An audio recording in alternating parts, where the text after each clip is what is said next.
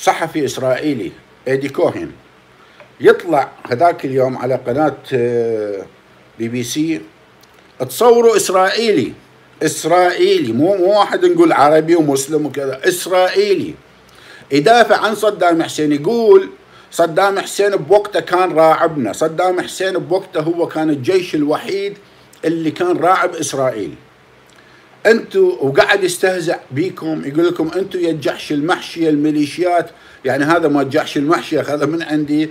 وأخذ كلمة ام حازم اللي أنا طلعتها قبل سنوات أخذها استخدمها يقول لكم يا ولد أم حازم تصوروا. إسرائيل يصيح لكم يا ولد أم حازم هذيك إسرائيل تعالوا. ودا يقول لكم إحنا قصفناكم. بعد أكثر من هذا الاعتراف شي شي يسوي بيكم؟ دا يقول لكم إسرائيلي يا ولد ام حازم يابا أنا شفته إلا طقيت من الضحك يمكن أربع ساعات. تصوروا حتى إسرائيل قامت تعرف أنتم وأنتم ولد ام حازم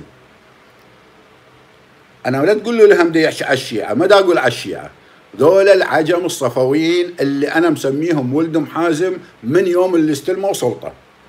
ولد حازم الإسرائيلي قام يسميكم ولد حازم شقوا زيجكم وطلعوا بالشوارع خلي خزوكم طاح حظكم وطاح حظ مراجعكم وطاح حظ آه، أخوة زينب وطاح حظ المراجع اللي تمشون وراها الإسرائيلي يصيح لكم ولد حازم. لك انت طموا نفسكم روحوا لبسوا فوط وقعدوا تلطموا يم الحسين لحد ما يطلع المهدي مالتكم.